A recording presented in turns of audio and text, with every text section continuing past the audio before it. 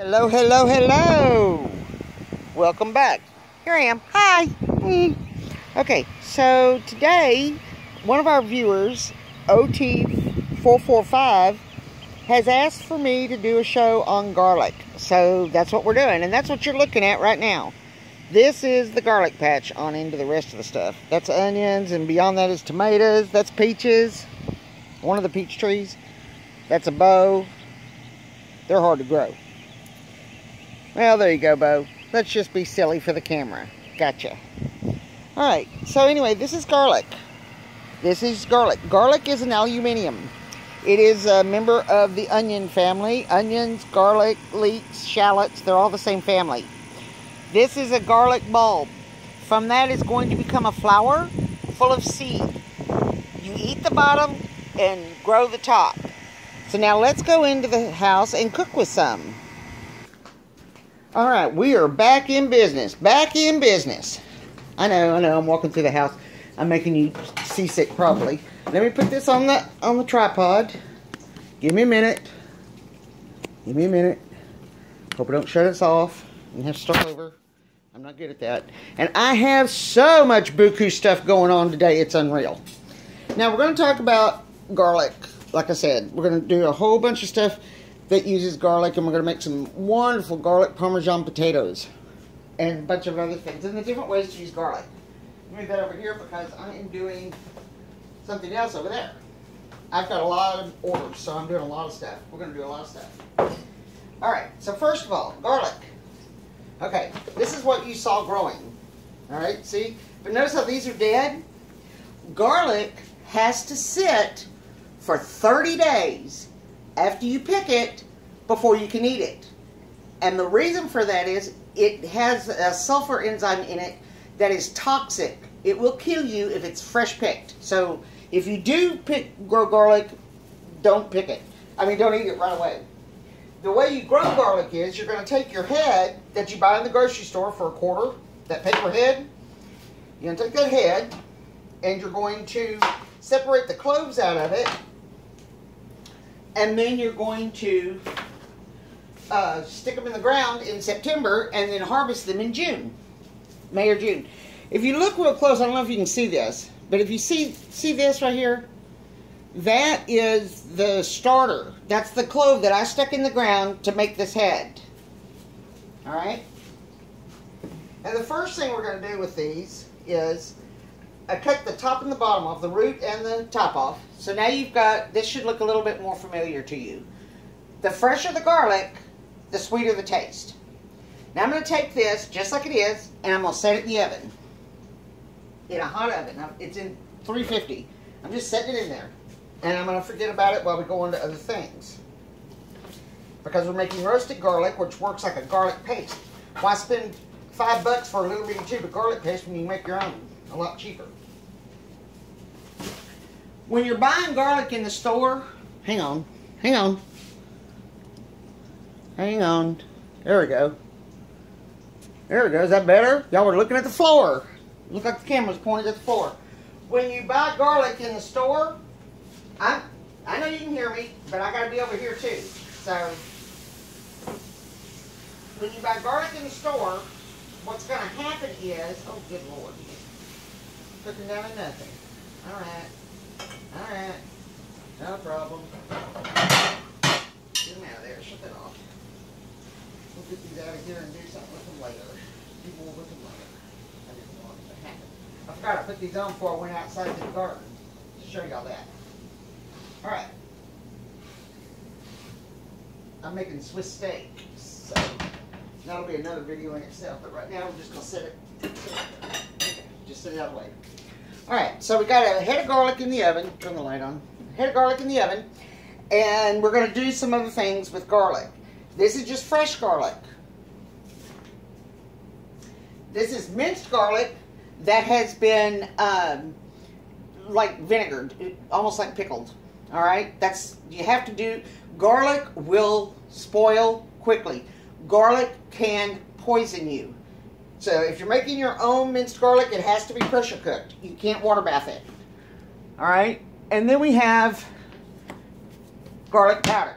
Now, the only acceptable garlic, I think, in my opinion, is fresh garlic, dried garlic, which is what you buy in the store, um, minced garlic, or garlic powder.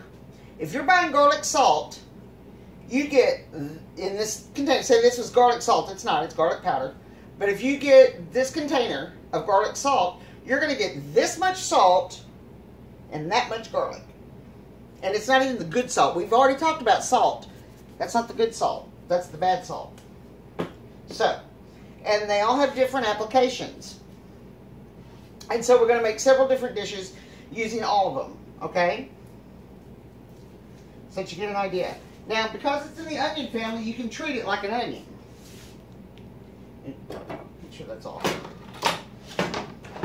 Okay, just we're to move up here so you can see me. Okay, so I just took the paper off of it, the peel off of it, this one. And this is going to look different from what you get in the store because these are homegrown. And it's a different variety than what they sell in the store. Although that's what they started with. This one, there's the little clove. It's the way I cut it. I cut it wrong. Anyway, get the paper off. That one in the, has good cloves in it. This one is really one big giant clove. Okay, now some people, when they buy it, they peel them. There we go. There's the cloves. There we go. Now you see some good cloves. This is still good, too. You can eat that. That's good. You can eat all parts of the garlic. You can use the green part of the garlic like you would a chive, a garlic chive. It's really good. Now, a lot of people say they don't like chopping up garlic. It's too hard. Okay, well, I understand that. And you can use a garlic press. However, garlic press looks just like this. You put the clove of garlic in here, put the little hammer down on it, squeeze it, and it comes out the bottom. However, this is a pain in the butt to clean, and you got to get it clean, completely clean. You got to get every little hole. You have to use a toothpick and get every little hole, and use a toothbrush and scrub it, and get every little hole, and toothbrush and... I don't have that kind of time. I mean, I do use my press from time to time, but not very often anymore. Because the easiest way to do it, besides roasting it and it turns into a paste, is to take your clove, take your knife. Knife. Okay, yeah, not that kind of knife. Okay, you're going to point the blade away from you. Always, whenever you're using a knife, always point the blade and the point away from you or anybody else around you. All right, so you got your clove.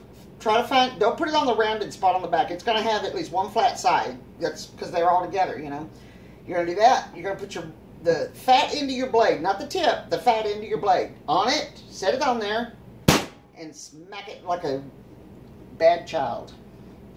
There you go. And then you can do it again and drag, and you've got a garlic paste, or minced garlic. And now we got that one ready to go. Okay, that one's going to be good in what we're fixing to make with it. Okay, now, sometimes you want the garlic flavor. Well, okay, we'll get to that in a minute. I don't want to confuse you. First, let's use the chopped garlic. Okay, so um, I'm heating up this pan, and I'm just going to put some canola oil in it. You could use olive oil, but this is one of those things you really don't want to use a high-end oil in it.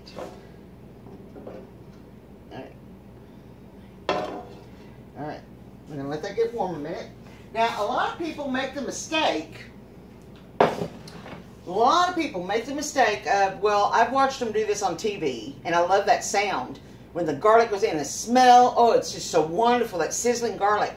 So they get their pan really hot, and then they throw their garlic in, and oh, I didn't prep my onions. I didn't prep the rest of the veggies. So they're over here doing that. The garlic's just sizzling away. And they love that smell. And the next thing they know, they look and it's a dark brown instead of a gold.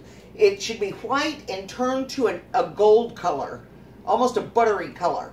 All right. If it turns brown, throw it out. It's burned and it's no good. It is bitter. It is nasty. Oh, it is awful. And it will you have to wash the pan too because it the flavors will stay in the pan, the burnt flavor, and it's horrible. Now what we're going to make right now is some Jamaican rice and peas. Now I've already got my rice cooked. Y'all know I do that in advance. Alright, we're not going to go over that because you can watch that other video on that. Alright. And I'm just heating a little oil. I'm going to put some... And because I did a huge batch because I have to have a lot. So I'm going to see how much I got here. And one more. Alright, there we go. There we go. That's like three cups of rice. Already cooked. Cooked rice. That's going to be Spanish rice next. Not today with you, but yeah, later. Okay, so now I'm going to put my garlic in on top of the rice. Just like that. Alright? And to that, we're going to add some coconut milk.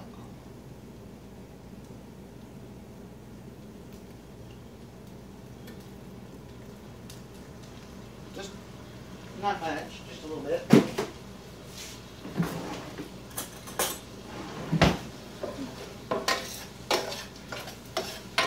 So we've got garlic and coconut milk in there.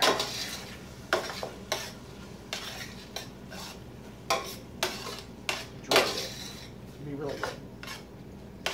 What happens if you put too much milk and it becomes soup? Add more rice. All right. Uh, some salt. This is kosher. You can use kosher or sea. It doesn't matter. Either one.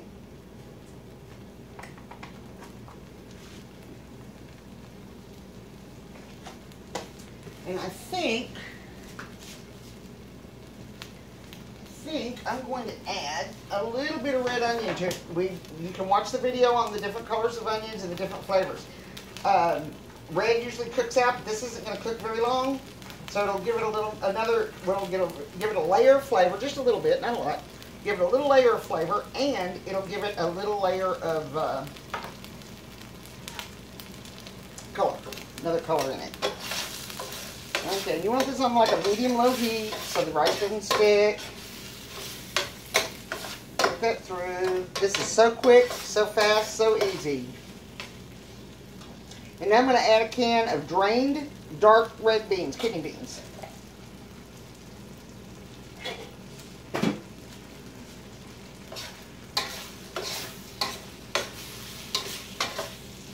I'm not going to overspice this too much. And the reason is because it's going to be served with um, jerk pork chops, which are very spicy. So I'm not going to overspice this. This is going to be a nice complement to the spice. You see what I'm saying? And we're going to let that go for just a second, and that'll be done. And while that's doing, I'm going to get a pan. I'm, don't go away. I'm right here. Just hang on. I'm not going anywhere. I'm not going anywhere. I'm right here. All right. Let me shut that off because it's done. Isn't that pretty? Jamaican peas. I'm going to throw some parsley on top in a little bit. Or cilantro. Either one. You can also add a little lime juice to that if you want to, but I think that's too much, so I don't do that. Oh, wow, that warped. I didn't have it on heat. Okay, so now what we're going to do is we're going to use whole cloves of garlic, like this, but we're not going to smash or anything because we're going to pull them out after we're done cooking with them. We just want the garlic flavor. We're going to make like a flavored oil. In fact, in fact, we're going to do it over here. Let's come over here. Come over here. You with me? Hope so. Can you see that? Can you? Where are we at? Where are we at? Can you see that? Okay, you can see that. All right. Okay, so we're going to use the garlic flavored oil in the Swiss steak. I don't want the garlic in there. I just want the oils in there. So it's got some canola oil in here still where I was frying steaks earlier. So what I'm going to do is I'm going to throw three cloves in there on a medium-high heat. And I've already cooked one batch of steak. I've got another batch to go. In fact, I'll, why don't I just do that with you watching and then you can see how to do it. How about that? How about that, Lyn? Am I crooked? Oh, Lord, we're all crooked up, aren't we? How's that? Better? I think so. Are you still with me? I hope so. This isn't going to be a short video today. It's going to be kind of a complicated video. Okay, so let's heat that, add a little bit more oil. We're going to heat that back up. Now, what I have done is, that, and that.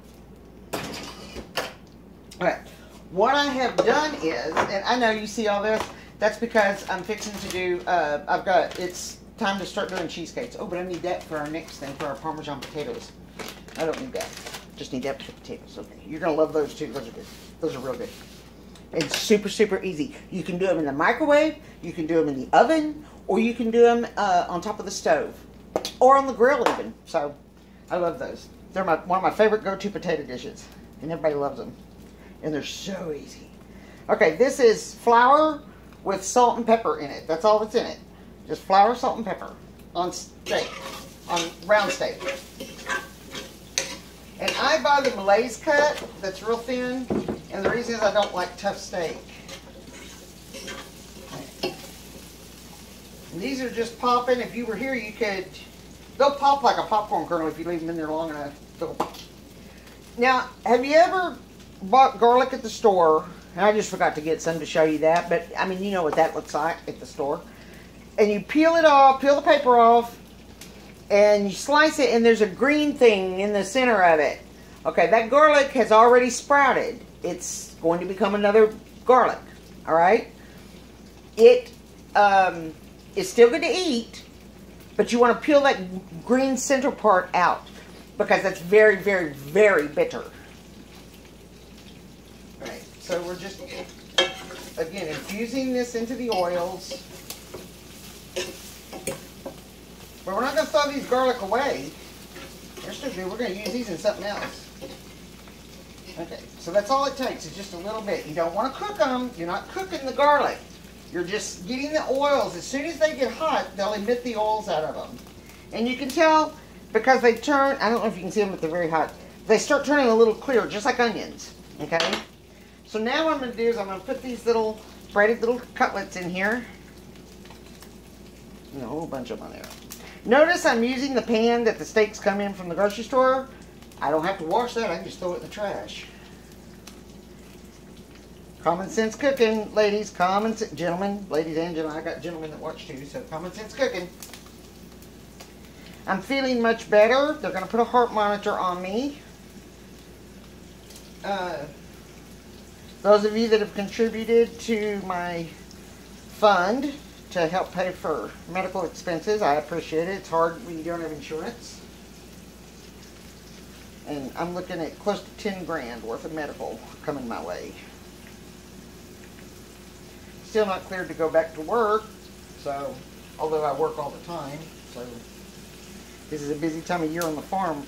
Everything's going in, everything, you know, getting cleaned up. You Got to thin out peaches if you have a peach tree, if you plant a peach tree and you have peaches, you have, just like with tomatoes, you got two choices. You can have a big, pretty loaded peach tree full of peaches, full of little bitty peaches that are little. They'll taste good, but they'll be tiny.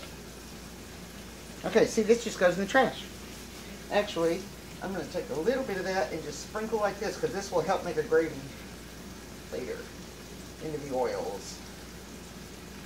Okay, there you go. That's plenty. I'm right here. I'm just going to step away behind you. I didn't go nowhere. Okay, so garlic. And I know flour makes a mess everywhere, but that's okay. That's why they invented a broom. Garlic. Oh, well, there you go. Or you can just use your shirt. For garlic, uh, when you buy it at the store, hope you're listening, I'm just washing my hands. When you buy it at the store, Make sure the paper doesn't just flake off into a dozen little pieces. That's old. That's very, very old garlic. It's going to be a little bit more bitter, not as good. Garlic in its pure state, whole, is very, very, very, very, very sweet. Problem is, people cut it up too small. The smaller you cut it, the smaller the pieces, the stronger and more bitter it gets. You get that garlic, garlicky taste that a lot of people just do not like that smell or that taste. I personally love it, but I'm married to an Italian, so there you go.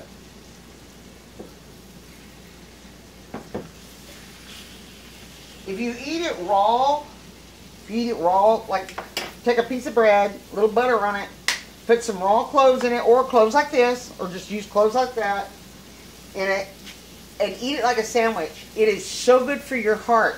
Plus, it kill. It's a natural fungicide. So if you have like nail fungus or athlete's foot or any kind of fungus in your body, it will take care of that too. Get real. Trust me. I know. Not because I've done it, but my dad did.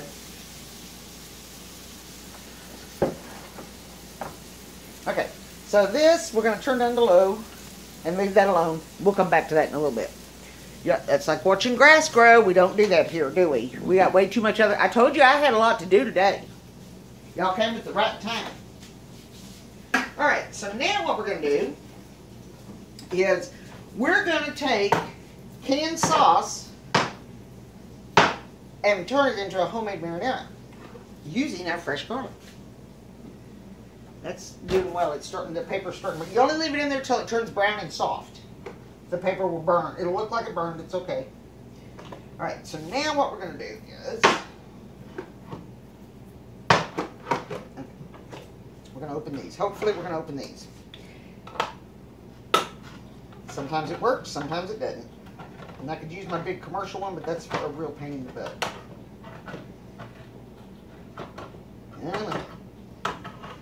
Now what I'm going to do with this is, you'll, you'll see, we're, we're going to give it a homemade flavor to it. It's okay to start with a base and make it your own. That's okay, that works. People, you know, if you don't tell them, a lot of times they won't know. But you can definitely taste the difference between a homemade sauce and a jar sauce. Easy peasy, that's no brainer.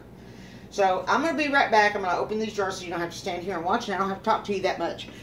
And I got to go get a can of tomatoes out of the pantry. So hang on. I'll be right back. Hang on. Alright, now we're back. And I got almost all the cans open. There's quite a bit of cursing involved with that, so I really didn't want y'all to have to hear that. I have two commercial can openers, but I don't like either one of those either. I'm like, I'm old school, just like a hand style crank can opener. And because I try to keep this as real as I can for you guys, just adding a little bit of extra water from that one. Don't do that. Whatever you do, don't do that. What I just did. Don't use your hand to do that. Because I want a little extra water in this, because I, I need a lot of sauce. Alright, so. So now, we've got all four cans in here. And it's on um, a low heat. It's on like a simmer. Now I'm going to add a can of diced tomatoes. This is my one of my this is my all-time favorite diced tomato. It is garlic and olive oil. But we're going to add more garlic to it too, because I promised you that. Okay.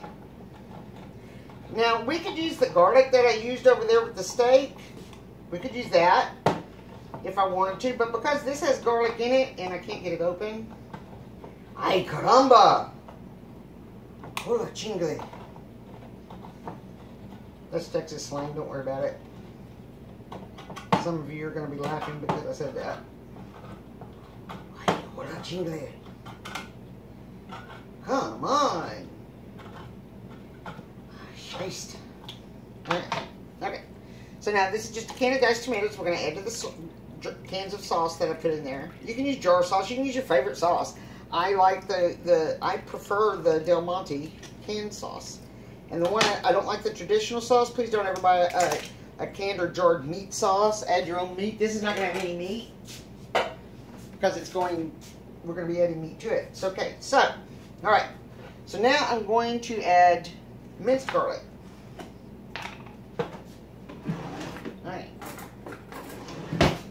And I'm just going to get a fork.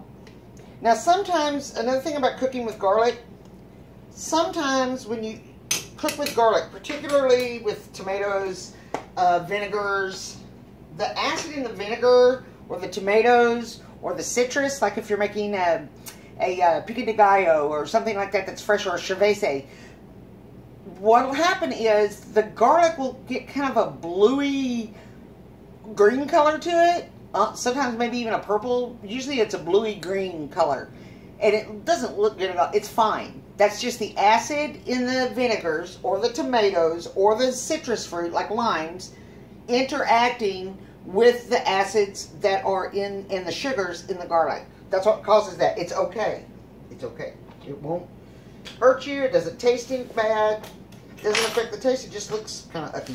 But that's okay. Okay, so I just put a big forkful in there.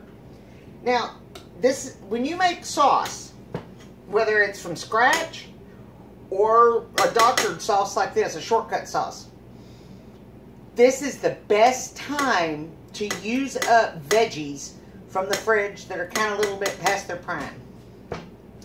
This is a zucchini. Look, see how it's already kind of wrinkly and stuff? So this would go, this will go in here perfect. Save the end for the chickens. So I'm just going to cut it into little bite-sized pizzas so it goes further. You know? What's this called? Walking the knife. How do you cut? Do you fight the knife or do you guide the knife? Who does the cutting, you or the knife? The knife. I'm helping you in case you hadn't seen that video on knives, on cutting, on how to use a knife correctly without killing yourself. Alright, and I'm going to add some mushrooms because we are just avid mushroom lovers. And again, uh, one of the things with my heart attack is that I'm low in potassium. And mushrooms have a lot of potassium. And I'm cutting the stem off. And then I'm just cutting each uh, mushroom in half and then rough chopping it into chunks like that. You don't want it cut fine. And I use the stem. I just break the stem up. A lot of people throw the stems out. Don't do that. You can just, it pops right out. It's the same thing, but break it up like that. If you don't want to chop it, you can do this. Look, mushrooms are the easiest thing in the world. Have the kids do it to help. Have them put a chair up here and give them a bowl and the thing of mushrooms and say, could you break these up for me? And then let them break it. Don't let them throw them directly into the sauce because you never know where their hands have been. And number one, make sure they wash their hands. But number two, they'll, and then you'll have sauce everywhere. They'll start dive bombing it. Uh, when it comes to mushrooms, never wash a mushroom. You wipe it off with a towel if it's really bad, or your hand. But you never wash a mushroom. You'll lose the mushroom texture. I'm just going to keep adding mushrooms. So, so far we have four cans of sauce, a can of diced tomatoes, some, uh, a, a giant heaping tablespoon of minced garlic, leave that out of the way, uh, zucchini, mushrooms. This is fresh picked spinach from the garden that's been picked and washed. So might as well throw some spinach in there. I'm going to use some of this in the shells anyway, so I don't want to use a whole lot. of it makes your sauce go further too. The more veggies you put in it, the further it'll go. Some people like carrots in their sauce too. You can do that. Although if you're going to use carrots, I would suggest you saute them first. Oh, I didn't add any onion to it. I should have added onion first. Oh well. Oh. Not onion. Because we started with a jar sauce, because we started with a jar sauce, I'm not going to add any salt because it's going to have plenty of salt already in it. I will, though, add some black pepper to it. I'm just cutting up fresh spinach. Look at that, isn't it pretty? And spinach is just about ready to go out of season, so if you like fresh spinach, now's the time to buy it because it's going out of season. It's a cold weather plant. Doesn't like the heat. So now's the time to go to the farmer's market and buy it. I don't have any left to sell. Don't ask me. I knew that question was coming next. What I do have coming out of the garden, yeah, well, I just planted okra yesterday, so we'll be doing gumbos and stuff later on in the summer. That's good. Just a little bit. So that can to the chickens. I'm saying. Alright, put this in the fridge. Keep your mushrooms refrigerated. I know I tell you there's certain things you don't have to refrigerate. Mushrooms are not one of them. They need to stay refrigerated. We are fortunate enough to have a mushroom farm about 35 miles from here. So, these are shallots, fresh picked from the garden. That's why they look the way they do. You can use green onion if you want to. You can use regular onion if you want to. I just want this part of it. I don't want the onion part. I just want this part.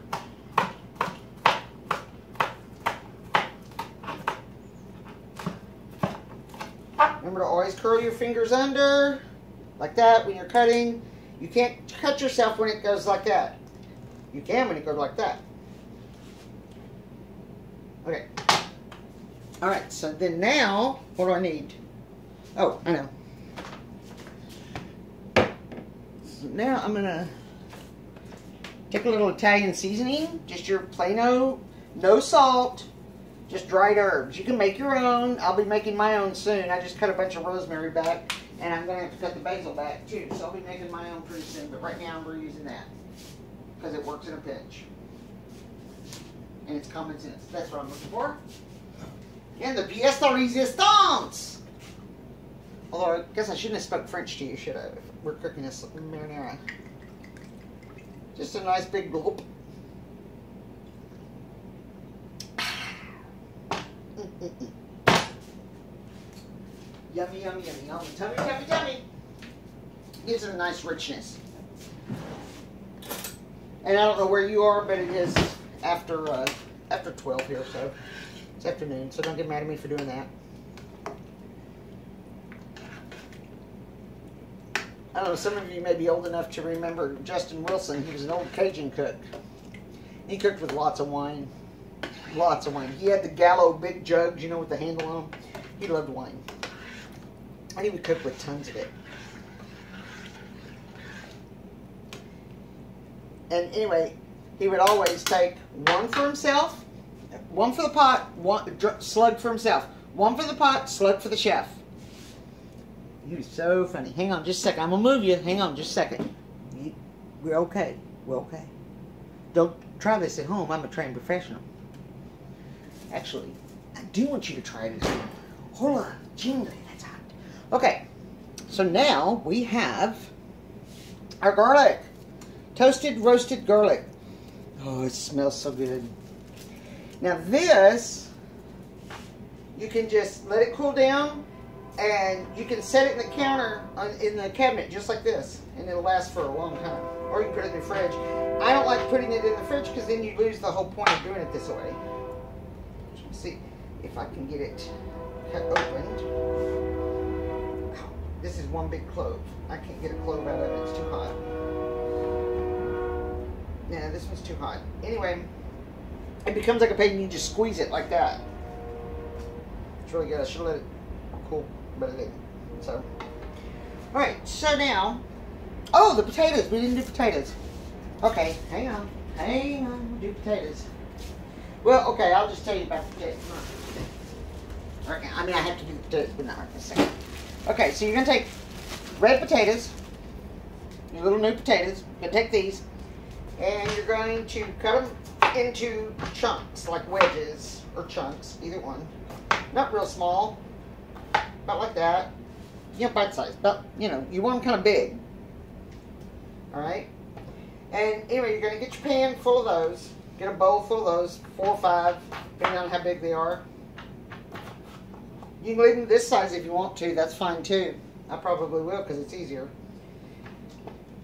Uh, but whatever you do, make them all the same size so they'll cook evenly. If you decide that you want to leave big ones after you always cut little ones, then the big, the little ones will be cooked and the big ones won't be. They'll be hard. So you've got to cook them all at one time. So then what you're going to do is you're going to do this. You're going to put the potatoes in a big bowl. Hang on.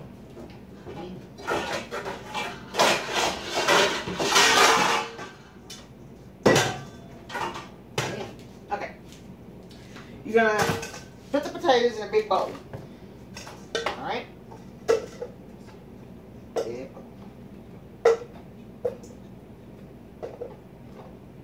Now in this, I would use garlic powder. If I were going to add garlic to it, I would add garlic powder. This is the kind of stuff you put garlic powder in. Stuff you don't want to see or take bite into the piece of garlic. And if you don't like to, if you're worried about somebody biting into a piece of garlic, then always pull the cloves out. It's just like a bay leaf. You know, you most people pull the bay leaves, which reminds me, why not? Throw a couple bay leaves in there. Why not? There you go. Yeah, that one got wet, so we'll go ahead and use that. We'll sacrifice that one for the team. So you're going to fill this bowl full of your chopped potatoes, okay? Now, if you have the Hidden Valley Ranch powder, like to make your own dressing or dip, use the dressing. I like the dip one.